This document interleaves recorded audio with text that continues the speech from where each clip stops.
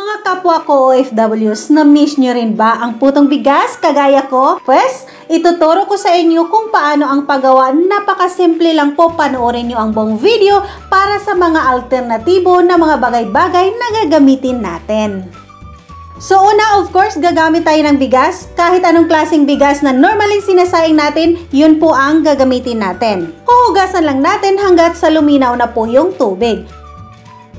At ngayon naman, maglagay ulit tayo ng tubig para mababad po yung bigas natin. Dapat nakalubog po yung bigas natin. Pagkatapos, takpan lang natin at isusuk natin overnight.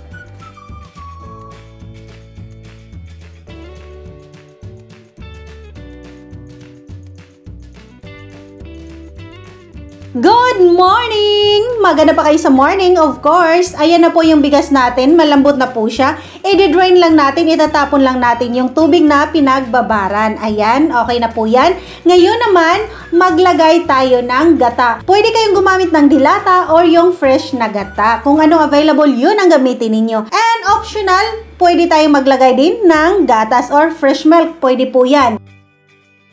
Ngayon, halo-halo with fillings of course para masarap ang ating putong bigas. At dahil wala tayong gilingan gaya sa Pinas, ang gagamitin natin ay blender or pwede kayong gumamit ng food processor. O, di ba? Smart tayo eh. Pwedeng pwede tayong makagawa ng putong bigas kahit wala tayong gilingan. May blender lang, solved na yan. Ayan, i-unti-unti lang natin para naman hindi mahirapan yung blender natin. Hanggat sa matapos, i-repeat lang natin yung process. At dapat po, smooth po siya, gaya ng paggawa natin ng mga smoothies.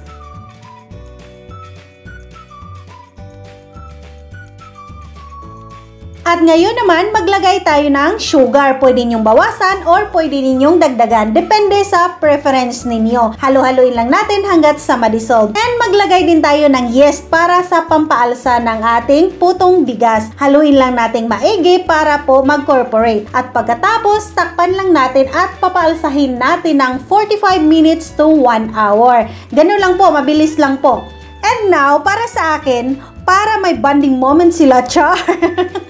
Tatakpan ko sila or kukumutan ko sila para hindi ma-disturb yung fermentation process at nakakatulong din yung warm na idulot doon sa ano pakumot ni Mayura. Ayan. After 45 minutes, ito na po siya. Nagbo-bloom na po yung yes natin. Tandaan ninyo, pag hindi po nagbo-bloom or namumumukadkad or bubbly yung uh, yes ninyo, ibig sabihin, wala na po yung bisa. Dapat itapon na nyo at palitan. Ngayon naman, ang tanong, paano na tong ano, mixture natin? Hindi nga siya umalsa dahil yung yes wala ng bisa. Pwede nyo pa rin yang maluluto. Pwede nyo lagyan ng baking powder. Yun, para talagang bumuka siya, umalsa siya. Or pwede nyo namang lutuin kahit walang baking powder pero alanganin. Minsan aalsa siya ng konti, minsan hindi. Pero still, makakain nyo pa rin. Hindi pa rin masasayang. Ngayon naman sa molder, kahit anong klaseng molder na gusto ninyo or yung mga available yung kahit anong klaseng mga cans, pwede po yun. And then sa padahon naman, kung mahal ang dahon sa bansa natin, pwede tayong gumamit ng parchment paper. Pagpatong-patungin lang natin para maganda yung pagka-sharing ng ating mga liners or yung mga dahon natin.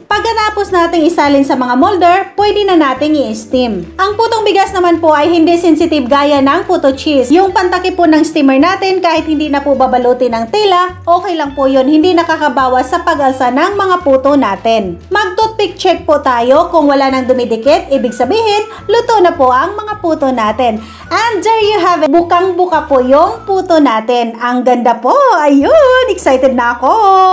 And of course, dapat may inuming ka-partner. Sa akin, gusto ko dito ay tsaa. Para naman na, kasi alam ko na maparami-rami talaga akong makain dito. Mapalaban talaga ako. Siyempre ba naman, nag-crave ako, di ba? Pero, masarap din ito sa chocolate or soft drinks. Oy, kaway-kaway sa mga mahilig sa soft drinks dyan. Ayan! And of course, super wow ang kinalabasan ng puto natin.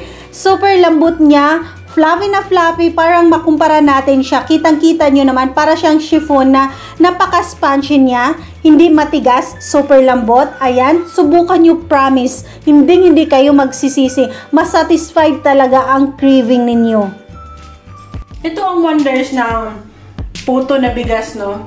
Actually, hindi siya malagkit na bigas, pero pag naluto na siya. Tapos, alam mo yung para siyang may malagkit factor. O, di ba? Pero hindi malagkit na malagkit. You know, everybody knows. Nag-share lang ako ng feelings ko kasi, hmm, mamiss ko sa amin.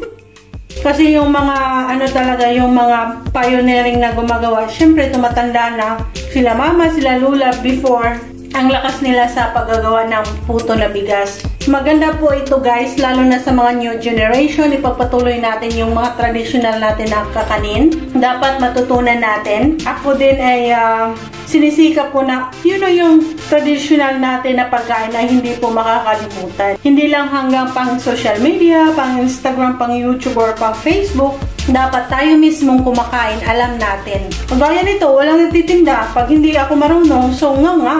So, sa mga hindi pa nag-subscribe, please do subscribe to our channel and hit the notification bell para lagi kayong updated sa ating mga videos. Please like, share, and leave a comment sa ating mga videos, mga lalabs, at pa-check na rin sa ating mga iba pang mga videos. Maraming salamat po sa inyong suporta. Until next time, God bless! Happy cooking mga ka-bless!